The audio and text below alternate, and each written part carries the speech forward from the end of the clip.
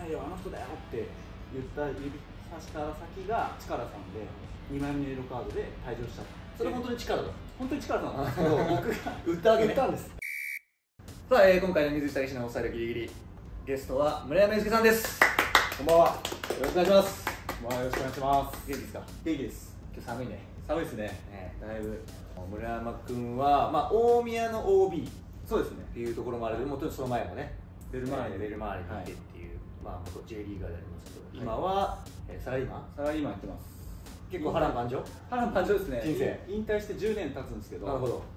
もうコーチやったりサラリーマンやったりまあまあニートまでいかないですけどフラフラしてる時期もあったりおおあのタイ行ったり中国であそうかそうか。指導者やったりとかまあいろんなことをやりました。なるほど、はい。今日そんなことをいろいろと、聞かせてもらえればと思うのではい。お願いします。了解ですお酒飲む。お酒結構飲みますね。元気から。現役の時はあんまりですね。あの飲みに行く機会は結構あったんですけど、はい。ただ休みの前の日というか、まあ試合の当日とか。そうだよはい。俺でさえそんな毎日は飲まなかった。あ そうですか。うん。まあでもえ引退して10年。そうですね。10年11年目になるんですかね。2010シーズンで最後大分トリニータでの1年で終わってそこからですね。2011年からセカンドキャリア。で年齢が今年40歳。今年40です。目さっきました阿部勇樹と。そうですね。多分同い年水内さんのチャンネルはもう浦和の方がほとんどだと思うのでね。浦和の方でいうと、阿部。まあ、ちゃんとかあとはトゥーリオとか山瀬とか。でもあの世代。あの世代で僕は大卒組で入ったんで。アテネ世代。当てない世代です。まあそれが多分一番分かりやすいだろうね。ゴールデンエイジの次はアテネ世代みたいなそうですね。もう徐々にね引退していなくなってきて寂しいですけど、はい。え出身は静岡？出身は静岡で、まあ、一応もうちょっと細かく言うと福岡生まれなんですよ。ほうほう福岡で生まれて滋賀を経由して静岡の沼津市というあの新次さんのところ、はいはい。え沼津に行ったのな何年生ぐらい？えー小学校3年ですねあじゃあ幼少のその滋賀とかの記憶もあるんだ。一応あります。サッカー自体は滋賀で始めて、それこそあの始めた時に坂本浩二さんってわかります？ベルマールマーレ。はい。うん。坂本浩二さんと同じ小学校っていうのが後々に分かって一緒の時期にサッカーやってまして、あそうなんはい、その話をしたら全然覚えてないって本人に言われたんですけど、まあ、上はね、はい。下のことあんま覚えてないからそうなんねですよね。沼津に行ったのお父さんの仕事の関係で。そうです、はい、転勤族だったので、はい。あのまあ、材木を売る営業マンだったんですけどそれでたまたま営業所が沼津にあったんで沼津に行って。でそこからまた転々転としながら。あそうそこから？もそこから。あの実家自体は変わらないんですけど本社が名古屋にあってそこに、まあ、父だけ行ったりとか。はい。っていうので結構あのいろいろ言ってましたね。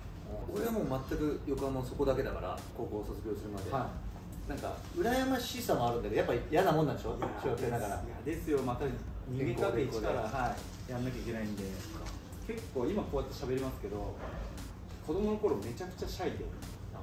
全然友達なんかできないんですよ。はい。サッカーだけだ。サッカーサッカーやっててよかった感じよかったです本当に。俺と一緒だ。面白いですね。うん、もう本当によく喋ってた。ずっと。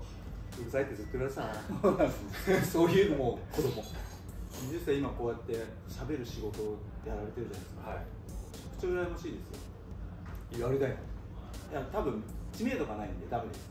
僕は。それはもう大丈夫かっこいいから。いやいやいや現役 の時僕坊主だったんで。あ本当？はい、それこそ浦和と大宮で多分僕の名前で大宮って検索したら多分面白い動画が出てくるあそうなんだ。はい、へ藤え本力さんを僕があの退場させるっていうタイトル。なんか聞いたことあるね そうれね。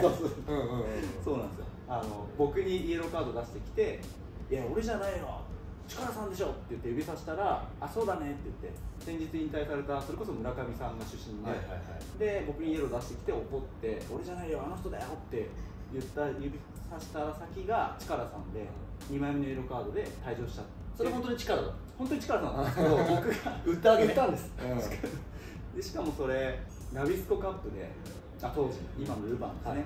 浦和のホームだったんですよ。で1対0で負けてる状況で、うん。で PK を取られて、うん。その結果2対6で大敗をしてまあ僕は戦艦扱いというか、まあ、それまでにもやられてたんですけど、まあなんかそんな感じでリーグ戦もその後も全く出れずその年で契約満了したっていう悲しい力を打って。力を打って。打ってチームを救ったつもりだけど。そうっすえ監督その時あれ？チャン・ウェリオン監督です。韓国のね。はい。だね。せっかく使ってもらったのに。記録には残ってます。その映像なるほどね。はい。えじゃあ静岡沼津で始まりって高原とかは高原沼あ新次が沼津か。あそうです。新次さんが沼津でで2つ上なんですよ。そうだよね。はい、でもちろん高原さんも有名で隣の三島市というところで、はい、やっぱ小野伸二はもうすごかっためちゃくちゃすごかったです。もう僕小学校3年か4年の時にそれこそ新次さんのいる今沢小学校っていう小学校と対戦したんですけど僕4年生か3年生でで2個 ,2 個上じゃないですか、で1 5 6点取られたんですよ。でめちゃくちゃ上手い人いるなと思って。で当時新さんあの肌が黒かったというか、黒かったんで外国の選手いるのかなって思ったぐらい全然もう桁違いのレベルでしたね、それぐらい有名で三島には高原が高原さん。高原すごい大きかったでしょなんだこの東部地域ってすごいなと思いましたね。そうだよね。で沼津でサッカー始めてそうですね小学校の時は沼津沼津で。当時フォワードだったんですよ今、うん。今というかディフェンダーだったんですけどと中学は？中学は中2までは地元の中学校だったんですけど、沼津もね。はい、中3からジュビロのジュニアユースお入れ入れたというか自分がお願いしたというか。お清水じゃなくそこはジュビロ飛び越えて沼津から清水を飛び越えてジュビロに行ったんですけど清水じゃなかったんです清水行きたかったんですよ、本当は。だけど同い年で池田翔平っておディフェンダーね。ディフェンダーはいはい。あいつがいてで当時その世代では翔平が一番有名なセンターバックだよね、ねオリンピックのねそうとかだったしね。で同い年だしいやこいつがここにいたら俺は上がれんと思って。なるほど。なのでジュビロ行きたいって勝手に思って、うん当時東海選抜の監督やってたあの方がジュビロのジュニアユースの監督やってたんで、ん。まあ世間知らずだったんであのいや僕も入りたいんですけどどうすればいいですかってお言ったらじゃあ練習おいでって言ってもらってへ2え回ぐらい参加したら春休みだったんですけど、じゃあ4月から来ていいよって言われて。それで入ったんですよ。あでも途中から入る子って珍しいよね。珍しいです。だってだった1年生からねそうですです。で当時はあのジュビロの下部組織というか育成組織って掛川と浜北と岩田って3つあったんですけど、それが中3になるとそれぞれの上手い人たちがうん。こう集められるはいはい強化チームって作られてたんですよ。でなのでみんなそこの育成にいる必要があったんですけど、うん。僕は全く違うとこから、あの自分逆オファーしてうん。入りたいんです、へそしたら当時の監督とかスカウトがいいよって言ってくれて。でも東海選抜入ってたでしょ？あ一応入ってました。いやもうそこはやっぱそうでしょ。ありがたいですね。ねはい、あとジュビロっていうブランドもちょっといいなと思ってて、うん。みんな上手い選手みんなやっぱジュビロだったりエスパだったりマリノスだったりっていうところに入ってたんでやっぱプロ行くためにはそこに選抜チームでもね。はい。そうですでもまあやっぱそれだけ力があったんだね。東海選抜に入るって。いやでも補欠ですよ。補欠繰り上がりですよ。でもほら静岡から上がったって静岡ばっかじゃないの？東海選抜ってそうことない？ですね15人か6人ぐらい中1 2 3人が、うん。東あの静岡市出身。だよね。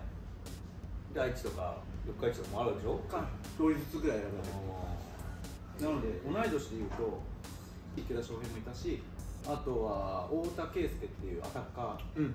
レースルとかでやってたもいますしあと佐野優也小林大吾。まあでもそんな静岡の。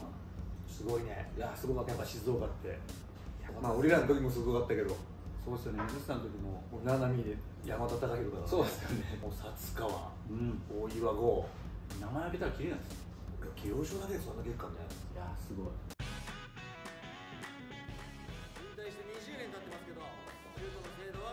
きませんよ。ああ